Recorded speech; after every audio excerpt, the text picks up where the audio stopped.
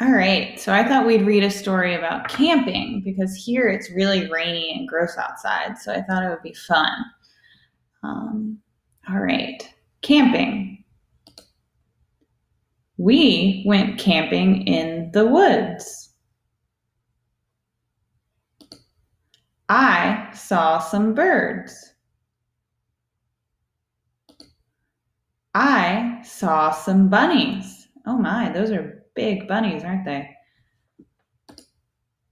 I saw some trees. I saw some friends. What are his friends, her friends doing? Huh. Did you like the story?